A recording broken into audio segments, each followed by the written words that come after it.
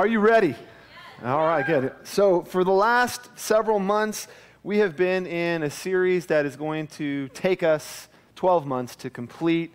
And uh, we have been talking about the Hero Challenge and walking through different aspects of our life that we want to take time to recognize that this one life that we've been given by God is something very precious and something very valuable. And we don't want to waste any, any time, but we want to redeem the time and be purposeful in every area of our life because we recognize that sometimes as people who follow Jesus or go to church, we think that spiritual life is just one facet instead of the entire portion of our life re- recreation, relationships, emotions, all of it, which God cares about deeply. And we want to be able to, to take some steps towards really discovering what God designed and, dis- and, and created us to be and do. And we recognize that it isn't just in coming for information uh, every Sunday that we, we actually become transformed into what God has for us, but it's by taking action, by taking steps in our physical life to be able to uh, recognize that God has given us, and the Bible says that, that our bodies are the temple of the Holy Spirit. As we begin to believe and step out in, on the Word of God and recognize that there is some incredible things that God has for us, that we could begin to discover really the hero that He's made us to be. And Sarah did an awesome job. I got a chance to listen online, preaching last week on the subject of prayer. One more of the tools that God has given us to be able to completely transform and to be recreated and to be redeemed into what He has for us, to be able to discover that He's given us a communication and a language to be able to talk to him and to be able to have a relationship with him. Now, a few weeks ago, I had an opportunity to go to Phoenix One, and uh, there was a special guest speaker who was sort of incognito. And for those of you who don't know what Phoenix One is, that's okay, but it is a uh, kind of a gathering of 20 to 30 somethings down in the heart of Phoenix. Basically, uh, brings together about 130 plus churches, and it's for really the millennial generation. And uh, so the 20 to 30 young professionals come together. And so there was a guest speaker who's kind of been highly sought after by the name of Francis Chan. Anybody ever hear of Francis Chan? If not, he wrote a book called Crazy Love. It's great. I can see you're very excited about that. Um, but while we were there, he introduced me, and we know Francis uh, very well because he used to pastor a church where we grew up in Simi Valley, California, and kind of remember when he just started and he used an illustration many years ago and he did the other night that sort of uh, kind of stirred me again and so I wanted to share it with you because it's really going to sort of pave the way for what I want to talk to us about this morning. So, he was just talking about how incredible creation is, and he was going through just really kind of giving us some different pictures and examples of how amazing, if we stop and just think for a second how incredible it is right now, we're spinning on this massive globe, and just all that's taking place in God's creation is just amazing. And he went in went on to talk about the caterpillar and uh, was just saying, you know, imagine the life of a caterpillar, right? Just sort of going along, just crawling on the ground, and all you ever know is dirt, and you're just sort of going along and just sort of inch, inch by inch, just sort of making it day by day, and just, like I said, just sort of rolling around in the dirt. And then, then one day you take a nap, right? You take a long nap, but you take a nap, and when you wake up, you just, you know, something's different, right? And all of a sudden, you go from being this caterpillar who's crawling on the ground, and all of a sudden, you know, you wake up and you're like, shut up. And you, and you, have, you have wings, right? And, and all of a sudden, you go from being this, this ground grubbing dweller to soaring and beautiful colors. I mean, can you, can you imagine what is sort of coursing through the mind of this new butterfly. And so he was talking about becoming a new creation in Christ. And in 2 Corinthians 5:17, uh, let me read this out of the New Living Translation. This means that anyone who belongs to Christ has become a new person. The old life is gone, a new life has begun. Weymouth translation says this so that if anyone is in Christ, he is a new creature. The old state of things has passed away, a new state of things has come into existence. And so, drawing on that picture, you know, he sort of was bringing everybody into a recognition that a caterpillar, once he sees that he has wings, I mean, he does not spend the rest of his days imagining how he could go back to sort of inching by and sort of going through the dirt. And so it is with us as people who have come into the reality of what this passage of Scripture talks about. That God has loved us and poured out his love upon us to such a degree that we have literally become new creatures. Just like the caterpillar who becomes a butterfly, we have become a new creation. Now, around my house, we, we don't use this term, shut up. I mean, I, I forbid my children from going around telling each other to shut up. They get timeouts and all kinds of punishments, spankings, and things if they use those terms. But around here at E3 Church, we like to take things that sort of culture makes negative and we like to spin them for the positive. So the title of my message today indeed is Shut Up, right? Here's why. Because we, we now, it's become very cultural if, if you know, two young ladies walk into church and one sees that the other has on a brand new pair of shoes that she is super excited about. When she sees those shoes, she says, Shut up. Look at those. Those are fantastic. And so, with that in mind, I want us to use this term as an exclamation or an exclamatory response to the reality of what has taken place in us. If the butterfly looks at his wings and says, Shut up, then we should recognize the reality of what the Word of God says about us and who we are in Christ. That this book that we've been given, the reality of it, is not so that we could come and just sort of talk and sing ditties and just be people who are forgiven of our sins. There is way more contained in these pages than that, right? And we're going to we're going to take the next several weeks to begin to explore and to experience who we have become, who we have been made as a result of the reality of the relationship and the union that we have in Christ Jesus. And I believe there is only one proper response when we begin to hear who we are in Christ. Shut up, right? Let's start. Romans 5:17 For if by the trespass of the one death reigned as king through the one much more shall they who receive the abundance of grace and the gift of righteousness reign as kings in the realm of life through Jesus Christ. Shut up. Are you with me? I don't, think you're with me yet because there is a knee jerk reaction. There is a response that is, should be elicited as a result. There is an excitement, there is an enthusiasm because the same enthusiasm that takes shape in the caterpillar to the butterfly that needs to encompass and grab our hearts. But I think we've become inoculated to too many church doings, church building doings. We know here at E3, we are the church. This is just the place we come and hang out on the weekend and sort of do a pep rally. But we're the church. But sometimes we have minimalized and we have missed out on the reality of who we are in Christ. And so the inferiority and the insecurity and the uncertainty seems to dominate our thoughts, seems to dominate our lives. And rather than recognizing that, how much more shall they who receive the abundance of grace and the gift of righteousness reign as kings in the realm of life through Jesus Christ. God created us, right? That we have been remade, we have been reborn, we have been born again into a kingly or queenly state. And we are accepted by God to reign as kings and queens in the realm of life. Go ahead and say it. Yes.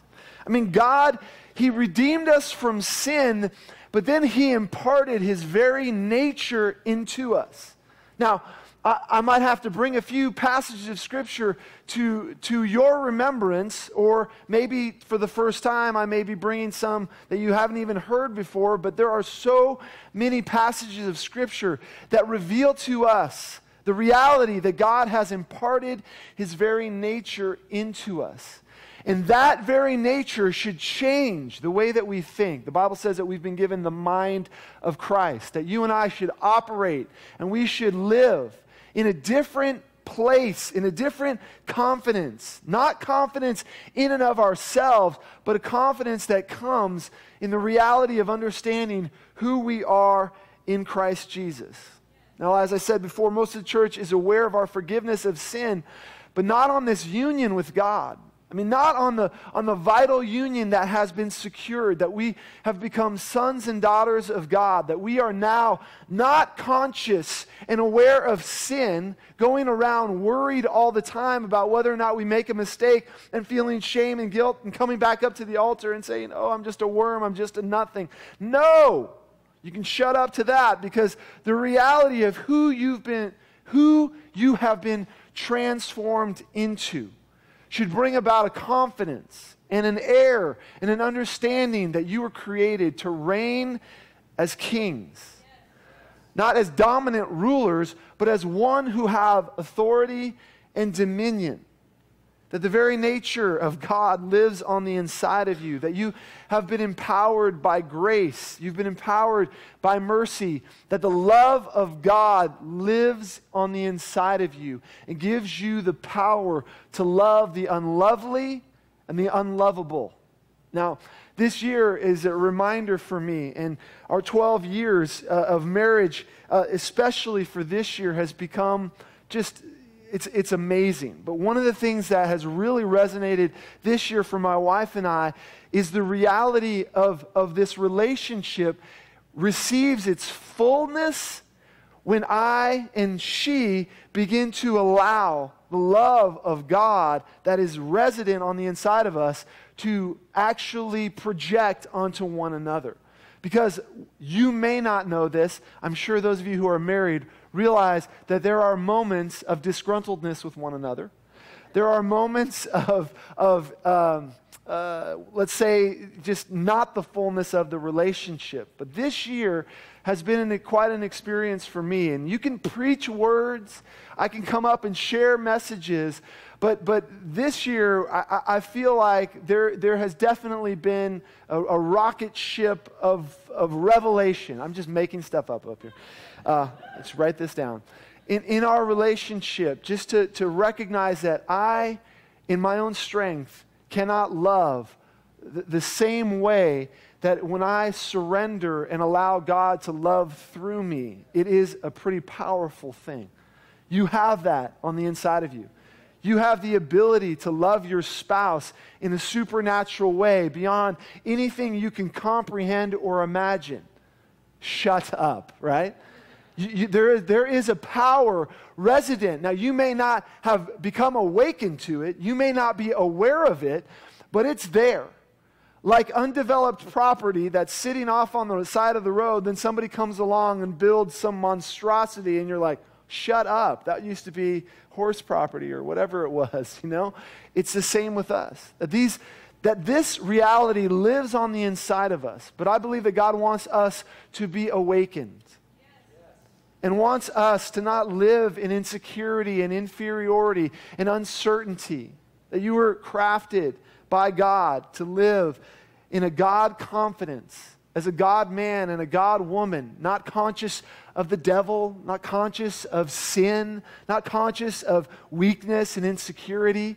I mean, I grew up uh, in my life in church and hearing songs where we would sing that we were just we're nothing you even heard a song that we switched the words today because there's just something just specific when we're singing that I, don't want us and Steve doesn't want us to, to, to miss out on, right? Because in, in the song that we sang, it, it, the actual words are, My life's nothing without you. But instead, we want to sing, My life's everything with you. I can concentrate on who I am without God, and I'm, I'm lowly and I'm weak and I'm a nothing and I'm whatever. And, and we've heard that in the church for a very long time. But wait a second. Wait. The flip side of that is who am I? Who has God made me to be? Do you wake up every morning and are those the first thoughts that hit your mind? Who am I? Who has God made me to be? Or do you look at the financial reports and, and all of the, the things that you're bombarded with on a consistent basis so that you can allow your heart to sink into fear and insecurity and wonder what will happen? Oh my God, oh my God, what will happen? Well, this right here gives us a picture into what has already happened, right? And instead of us trying to get something and be something, we've passed that because you have become something. You are something. Look at someone say, You are something. You're created in Christ. Right? Galatians 6:15 says neither circumcision nor uncircumcision means anything. What counts is the new creation. So if, if that's what counts, then where should we set our mind and where should we set our attention and what, what should we be allowing to, to be the dominant focus of our thoughts? The new creation. Who are we in Christ? Who has God made us to be? As a result of what Jesus has, has done for us, what's taken shape? Spread our wings and let's begin to soar into what God has for us. Are you with me? 2 Peter 1 4 says, by which he has granted to us his precious and very great promises, so that through them you may become partakers of the divine nature, having escaped from the corruption that is in the world because of sinful desire. Partakers of the divine nature. That sounds pretty lame, doesn't it? No, it doesn't. Shut up. Partakers of the divine nature. Are you with me? Like, that's that's a pretty awesome statement. Do, do you walk in that awareness? Do you recognize that you have become partakers of the divine nature? That inside of you is the seed of the supernatural.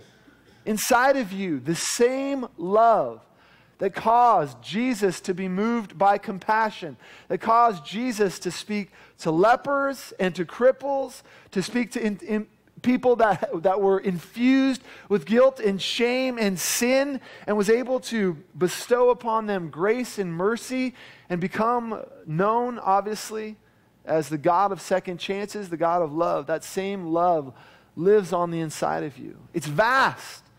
Being a partaker of the divine nature isn't only for us to be able to just experience just in, in this area or that area, it's in all areas. And it's time that we began to stoke the fire, to recognizing it, that we would begin to walk in a, in a, in a newness, in the reality of who we are, so that we could recognize what God has done for us. Can I get a oh yeah? Colossians 2 16 through 17 says, Therefore, let no one pass judgment on you in questions of food and drink, or with regard to a festival or a new moon or a Sabbath these are shadows of the things to come, but the substance belongs to Christ. So, in other words, sometimes what happens when we don't see or aren't experiencing the transformation, this is definitely something we could all identify with, especially within the church walls. When we aren't seeing and experiencing what I'm talking about, when we aren't on a daily basis coming in to that vital union where we're bringing our brains to a recognition of what is contained in our heart. We settle for mediocrity by becoming people who want more information in church. We do. And then I'm sure you've never heard this. I'm certain, you know, it's been on rare occasions that I've ever been in a church where someone said, I just, we just need deeper teaching. And I'm sure you've never been a person who, who said that, or, or we just need more of this, or we just need more of that, or if they would just do this, that. Now I'll say it, shut up. The, reality is, is that I've watched over the years that the, the thing that causes that is because people want to settle for information more than they do transformation. They'd rather have the appearance of things taking shape because it takes energy and effort to actually get your brain to recognize that you are a partaker of the divine nature. So instead of us becoming the fullness and experiencing life more abundant, we would rather just talk about it and just have information. But you weren't designed to do that. You were designed for action. You were designed to be a hero. You were.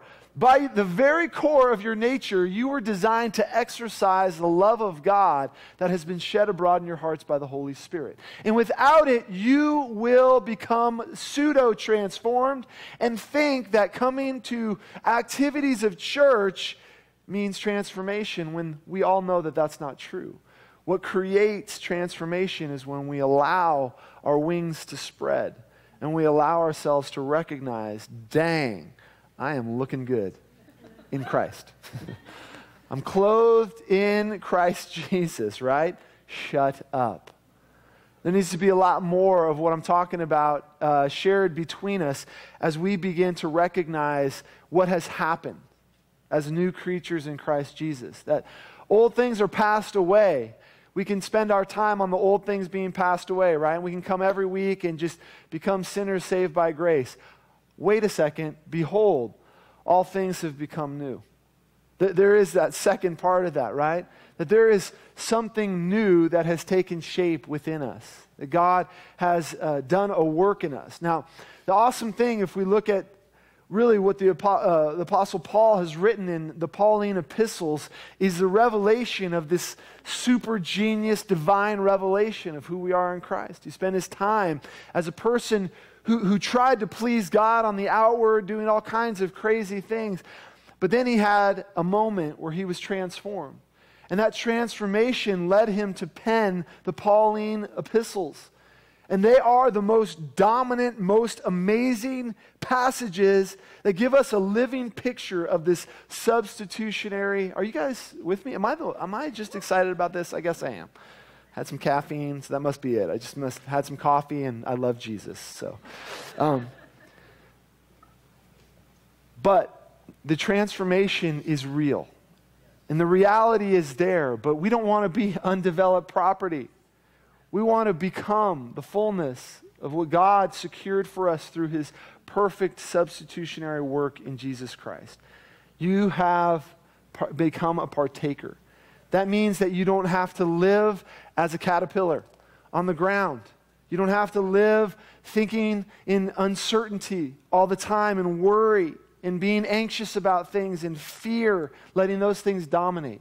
But you can begin to evoke by the very words that you speak, by allowing your speech to come into alignment with the Word of God. And you can allow yourself to take on the vocabulary of what it means to be a partaker of divine nature. Colossians 2:10 says, "I'm complete in him who is the head of all principality and power, lacking nothing." Say shut up. Shut That's right. Ephesians 2:5, "I am alive with Christ." Romans 8 2, I am free from the law of sin and death. Isaiah 54 14, I am far from oppression and fear does not come near me. I am holy and without blame before Him in love. I have the mind of Christ. I have the peace of God that passes all understanding. You're saying it wrong. Don't tell, you're, you're telling me to shut up. I, I have more time. I have the greater one living in me. Greater is he who is in me than he who is in the world. Shut up. I have received the gift of righteousness and reign as a king in life by Jesus Christ. I have received the spirit of wisdom and revelation in the knowledge of Jesus, the eyes of my understanding being enlightened. I have received the power of the Holy Spirit to lay hands on the sick and to see them recover, to cast out demons, to speak with new tongues. I have power over all of the power of the enemy, and nothing shall by any means harm me. I've put off the old man, I've put on the new man, which is renewed in the knowledge after the image of him who created me. I have given, and it is given unto me good measure, pressed down, shaken together, and running over. Men give into my bosom. I have no lack, for my God supplies all of my needs according to his riches and glory by Christ Jesus. telling you it's some good stuff, right? We have the opportunity to recognize that we've been made new creatures, new creations. That the old is gone and the new has come. And if we don't spend time to give attention to the reality of who we are, then we live in the inferiority and the weakness of who God gave his son Jesus for so that we wouldn't have to be living in that. And I want you this morning to just think about that as it relates to all that you encompass and worry. Maybe there's new businesses that are starting, maybe there's new paths that you're taking. But when we start to step into the reality of who God has made us to be, and we start to give voice and we start to give attention, and we start to begin to meditate, and we start to allow the meditation of those words become pictures that we see, then we begin to take on and walk out the very reality of who God made us to be. We are not just mere sort of people just walking by. We've become partakers of the divine nature. God wants to use us in a way to draw our hearts, draw from our hearts compassion and love, goodness and mercy and favor. And He wants us to bestow it because He's called us to be ambassadors, ones who are sent out on behalf of the kingdom. And this kingdom is about goodness and grace, love, and mercy. It's about second chances. And it is about being able to walk in the fullness that God has provided everything for us according to his riches in glory in Christ Jesus. Would you bow your heads and close your eyes with me? Heavenly Father, we thank you so much that the entrance of your word brings life and light. God, this morning, we allow our thoughts to come into alignment with the reality of who you've made us to be in Christ Jesus. Father, we thank you that we are partakers of the divine nature. That in us, Father, is your love that's been shed abroad by the Holy Spirit. Father, your mercy, the ability to, to treat others beyond what they deserve.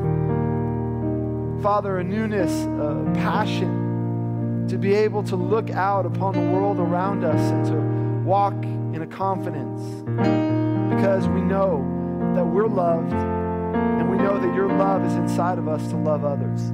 God, I'm asking you to do a work in our hearts this morning. Would you allow us to wake up to the fullness of who we are in Christ Jesus? Would you help us to grasp that we are not weak, emaciated, inferior, regardless of what has taken place, because the old is gone and the new has come. Father, this morning we reach out to respond to the goodness that you have graced us with, the righteousness that you have bestowed upon us, not by our works, not by our efforts, but because of the finished work of the cross. Father, this morning we open up our hearts, we open up our minds to be able to see that we are indeed sons and daughters of God, that we are loved, and that you have given us all things that pertain to life and godliness for this time, for this moment. While every head is bowed and every eye is closed, if you're here this morning and maybe you don't have a, a relationship with God, maybe the result of poor decisions, maybe whatever it is, it doesn't matter, but because of those things, you feel like God is far from you. But the truth is, is that God never leaves us. He never forsakes us. And this morning, we just want to take time to just be able to pray and be able to connect you to the vital union the reality that Jesus shed his blood, he gave his life as a perfect sacrifice and rose from the dead so that you could have the fullness of life as a son and as a daughter. And if that's you, would you shoot your hand up really quick and say, That's me? Would you pray for me? Thank you. you put your hand down. Anybody else here this morning? Say, That's me. Would you pray for me? awesome. We're going to pray this out loud together. Everyone loud, say this with me. Say, God, thank you for loving me, Thank you for sending your son Jesus to shed his blood, to die on a cross, and to rise again so that I could receive freely the gift of sonship, of daughtership, to be loved by you, to be accepted by you, to become your child. Thank you for that. I love you. In Jesus' name. Simple as accepting the fullness and the freedom that's there. And the next step for us, those of you who raised your hands or should have raised your hands, is to begin not to, to try to, to become something different, but to discover God's love and begin to respond to it. Allow your heart to begin to take steps towards saying, you know what? If God loves me this much, if He cares about me, I'm willing to hear a little bit more. I'm willing to, to, to, to give up my ideas and my thoughts and my pain and my hurt and my sad story for newness of life so that I can begin to experience the fullness of what He came to give me, which is life beyond my wildest imagination. Has anybody in here experienced the old and then experience the new? And you'd say, there's some good stuff over here on this side. In the seat pockets, in back of you or in front of you, there is a card. For those of you who want prayer or you prayed that prayer with us this morning, please make sure that you fill out the card so that we have your information because we want to take steps with you on the journey that is beginning to discover God's love, God's goodness. Thank you. I'll be quiet.